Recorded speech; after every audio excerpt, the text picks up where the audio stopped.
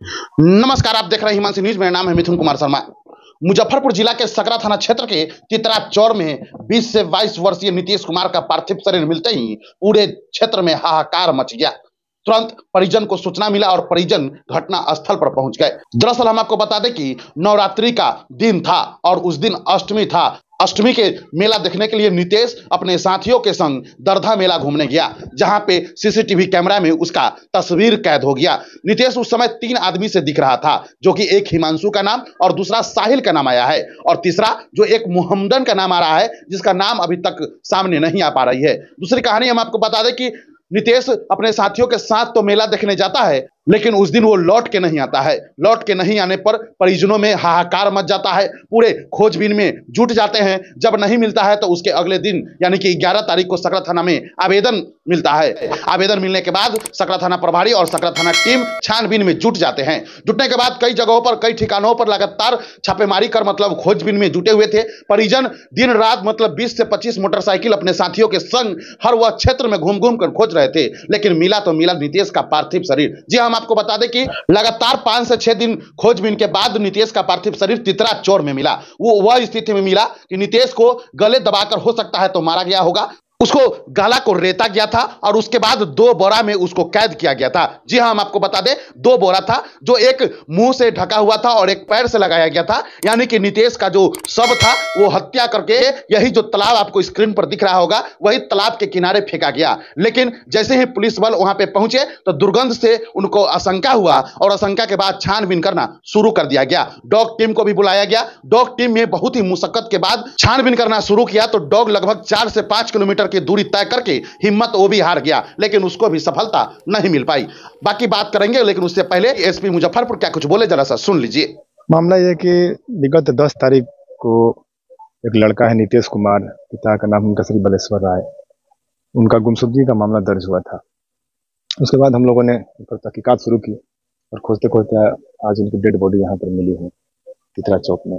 वैसे उनको देखा गया था दस तारीख की शाम को और एक दुर्गा जी का प्रतिमा है वहाँ पे बाइक से जाते हुए देखा गया था सीसीटीवी फुटेज में कैद है उसके आधार पर हम लोग किस अवस्था किस अवस्था में पाई गई है सर ये तो छत विछत अवस्था में डेड बॉडी पाई गई है उनका हत्या किया गया है। बताया गया कि गला रेता रेता हुआ बॉडी हाँ, तो वो तो हत्या है तो लाश को भेजा गया है पोस्टमार्टम में तो पता चल जाएगी किसी है। दो व्यक्ति को अभियुक्त बनाने की आशंका आशंका जताई जा रही है और ठीक है वो तो है वो लोग एक बाइक पर मोटरसाइकिल पर भी एक आदमी जो है उसका जिसका वो लोग पहचान कर रहे हैं उसका हम लोग भी पता लगा रहे हैं। है या गायब दस तारीख को हुए हैं। दस तारीख को बाइक से जा रहे थे। वही देखा गया सीसीटीवी में। उस दिन ये लोग थाना पर सूचना भी दे चुके हैं। उसके बाद प्राथमिकी दर्ज कर दी गई थी। बुलाया गया था। क्या डॉग सवारी की टीम बुलाई गई थी। हम लोग का मेन उद्देश्य था कि हथियार से हत्या किया गया होगा। उस हथियार को हम लोग खोजें लेकिन सफलता नहीं मिली। करीब करीब पाँच किलोमीटर तक ले गया है डॉग लेकिन हमें वापस जाना पड़ा। आवेदन दिए थे अगर सर से अभी किसी तरह का कोई संतुष्टिजनक जानकारी नहीं मिल। पाई नहीं सब बात नहीं है। छः सात दिन से थाना प्रभारी के हम भी लगातार संपर्क में थे। अब सारी बातों की सूचना हम लोग नहीं दे सकते हैं लेकिन लगातार हम लोग संपर्क में थे और रोज फीडबैक लेते थे कि क्या हुआ है इसमें। और बताते थे थाना प्रभारी लगातार प्रयासरत थे ये दो बात नहीं है। तो परिजन के माध्यम से लगाया जा रहा था। नहीं अभी तो थाना के माध्यम से खोजा गया। परिजन लोग भी साथ में थे उनके भाई भी साथ में घूम रहे थे। कहीं कहीं से सूचना मिली कि डेड बॉडी पड़ा हुआ है उसी पर हम लोग आए यहाँ पर।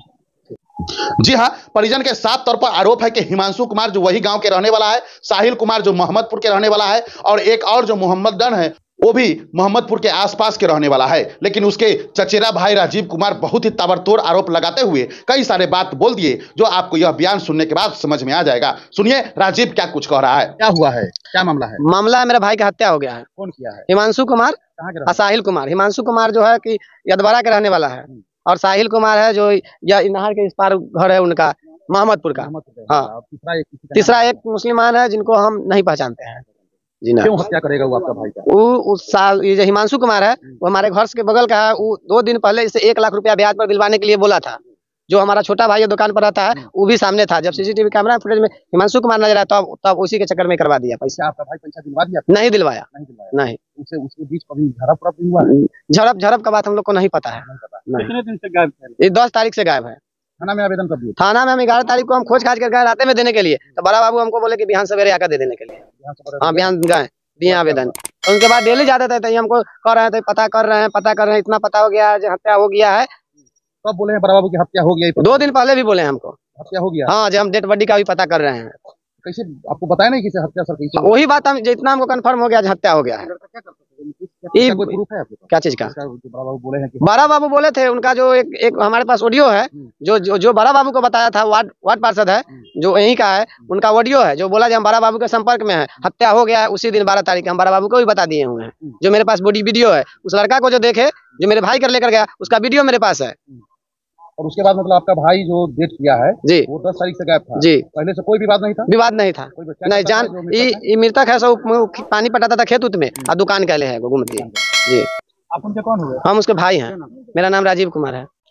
राजीव का बयान सुनने के बाद एक खुलासा सामने नज़र आ रही है कि राजीव का कहना है कि हिमांशु बीते कई दिनों से एक लाख रुपया ब्याज पर दिवा देने का लगातार बात कह रहा था। लेकिन नितेश जो था, यह बात को हमेशा टालते गया। नितेश का उम्र ज़्यादा नहीं था, लगभग 20 से 22 वर्ष था। हो सकता है कि उसे किसी ना किसी आदमी से ऐसा जान पहचान रहा होगा। जो पैसा सूद ब्याज पर लगाता है तो उसे पैसा दिवा देने के हिमांशु जो है बार बार इसको तंग करता था। लेकिन नितेश पैसा नहीं दिवाने का यह हमेशा बात बोलकर टाल देता था। लेकिन क्या दोस्ती था कि दोनों तो एक साथ अष्टमी के दिन निकला, लेकिन कब हत्या किया गया, इसका अभी तक पुष्टि नहीं हो पाई है। लेकिन आज इसका पार्थिव शरीर मिला और पार्थिव शरीर मिलते ही कई सारे टीमों को बुलाया गया, जो एफएसएल टीम भी यहाँ पर आके जाँच पड़ताल कर रहे हैं किस प्रकार आपको स्क्रीन पर दिख रहा होगा वो आप समझ पा रहे हैं। उसके बाद डॉग टीम को बुलाया गया लेकिन किसी भी प्रकार की सफलता अभी तक नहीं मिल पाई है। परिजन की तरफ़ से आवेदन दिया गया था थाना में जो कि गुमशुदा का दिया गया था। उस, समय किसी पर यह शंका नहीं जता रहे थे कि हमारे भाई का हत्या हो गया था। बस गुमशुदा का आवेदन सकरा थाना में सौंपा गया था। यही सब था कि हमारा भाई कहीं गुम हो गया है।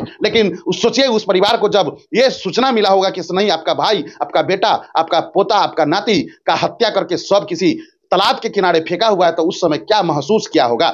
बाकी हमारी नज़र यह घटना पर टिकी हुई है। जिस प्रकार नया अपडेट आएगा, फिर से हम आप लोग को बताने का प्रयास करेंगे। सूत्रों के हिसाब से जानकारी मिल रही है कि यह केस में बहुत सारे सबूत और बहुत सारे गवाहों का इकट्ठा किया जाता है, ताकि वह दोषियों तक पहुँचा जाए कि इतना बड़ा घटना का इंजाम देने के पीछे क्या कारण हो सकता है। परिजन का लगातार आरोप है कि हमारे पास बहुत सारे ऑडियो रिकॉर्डिंग है, जो मीडिया बंधु को हम आने वाले दिनों में दे सकते हैं। तो नमस्कार, आप देख रहे थे हिमांशी न्यूज़, मेरा नाम है मिथुन कुमार शर्मा। अगर आप अभी तक हमारे चैनल को सब्सक्राइब नहीं किए हैं फेसबुक पर फॉलो नहीं किए हैं तो ज़रूर कर दीजिए। फिर मिलेंगे एक नए खबरों के साथ। जब तक के लिए जय हिंद।